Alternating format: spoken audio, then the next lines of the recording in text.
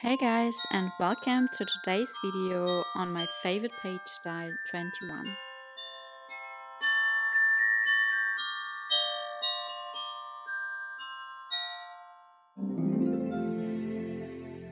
So this is what my favorite page style number 21 looks like and as you can see it's a booklet in which you can place um, full-size photos in size 4x6. Okay, so let's just start with the tutorial for today. And as always, we start by cutting our cardstock and pattern paper down to size. And the first cardstock elements we need to cut are our cardstock elements A in size 4 and 3 quarters of an inch by 6 and 1 quarter of an inch. And we actually need to cut cardstock element A three times. And when I cut my cardstock and pattern paper, I always like to label all the elements I have cut. And then we can cut a cardstock element B in the size 2 and 1 quarter of an inch by 6 and 1 quarter of an inch. And the last cardstock element we need to cut is cardstock element C in size 4 and 1 quarter of an inch by 6 and 1 quarter of an inch. After cutting all our cardstock elements, we can continue by also cutting our pattern paper. And the first pattern paper piece we need to cut is the pattern paper for cardstock element A, so we need to cut pattern paper A in size 4 by 6 inches. And then to cover our cardstock element B, we would need to cut pattern paper B in size 1 and 1 half of an inch by 6 inches.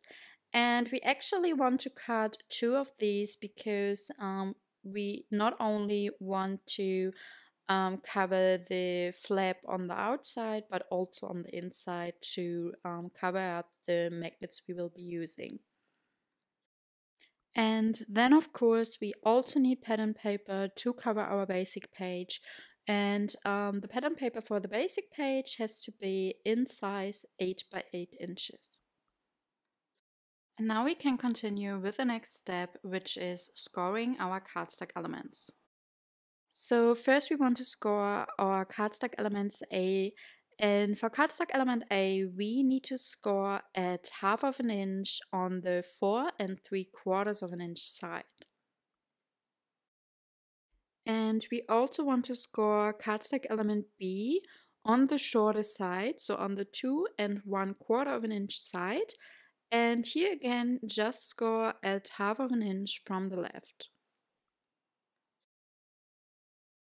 Then we need to attach tape right next to the scoring lines and I actually like to use 3 eighths of an inch score tape for this. And after attaching our tape, we want to cut off the corners of the little flaps we created with scoring. So for this, I like to turn around my cardstock and then I get my small scissors and I just cut at an angle right next to the scoring lines. And just make sure that you don't accidentally cut into the scoring lines, but just next to them. Once you have cut off the corners, you can go ahead and um, actually fold up the little flaps we created. And for this, turn around your cardstock because you don't want to fold it up on the side where you scored it or where you placed the tape on. Um, so we want to fold it on the back side and then I also like to get my bone folder and burnish it down. And now we can attach our pattern paper for the basic page onto our basic page. And when I attach my pattern paper onto my cardstock elements, I always prefer to use wet glue instead of tape because by using wet glue, you are still able to move around your pattern paper until you find the right position and have an even border of cardstock around it. And now to make the booklet, we would need cardstock element C as well as all three cardstock elements A. And then um, we start by attaching cardstock element A onto cardstock element C. And for this, I like to remove the tape backing just from one side and then I hold up the sticky side until I find um, the right position so that it's evenly aligned to the edges of cardstock element C. And then I remove the rest of the tape backing and just um, place it down. Um, and then you want to stack the other cardstock elements A on top of each other. So get the second cardstock element A and do the same steps again. So remove the tape backing from one side, then hold up the sticky side and find the right position. So align it to the edges of the other cardstock element A, and then you can um, just yeah stick it in place and repeat the same for the third cardstock element A as well. Now we also want to attach our cardstock element B, but before I attach it, I actually got my corner punch to round the corners, um, but as always, this is definitely optional, so you could leave the corners just as they are. Um, but you could also, of course, use a different corner punch to decorate it a little. And then you want to attach the little flap of cardstock element B onto cardstock element C, so onto the bottom cardstock element in your booklet. So for this, I just um, fold it over the whole booklet so that there's just the um, little flap um, right next to cardstock element C, and then I just press it down while removing the tape backing and then I close it up so that cardstock element C will stick to cardstock element B.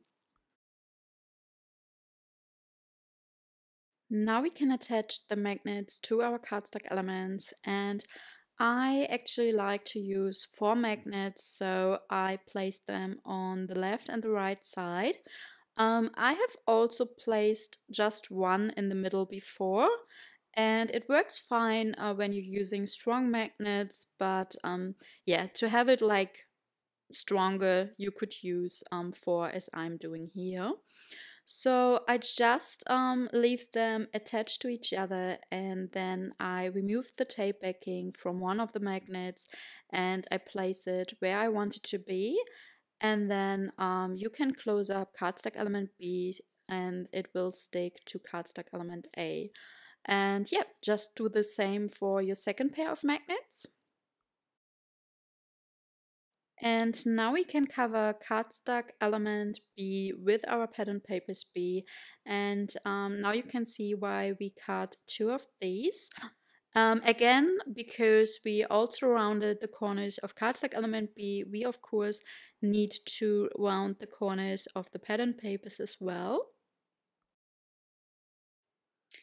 So you see me um, using my corner punch again and then I get my wet glue and I will just attach my pattern papers onto um, the outside and the inside of the cardstock element B.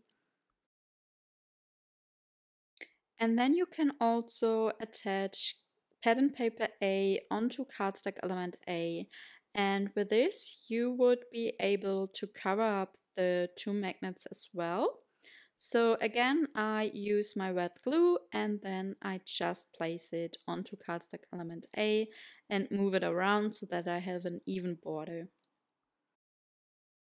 And now for the last step, we only need to attach our booklet onto our basic page and while I like using wet glue to attach pattern paper onto cardstock elements, I would always use tape to attach any cardstock element to um, another cardstock element. So here you see me using my 3 eighths of an inch tape again and I just place it around the edges and then I remove the tape backing completely and um, I actually also don't measure where I want it to be placed. Um, I want it to be in the middle, but I just eyeball it and then I hold it up from both sides and I make sure that I know where I want it to be.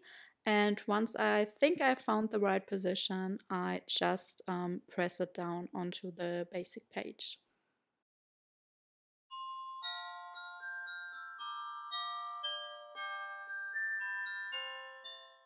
So yeah, that's it for today's video and I hope that you enjoyed watching it.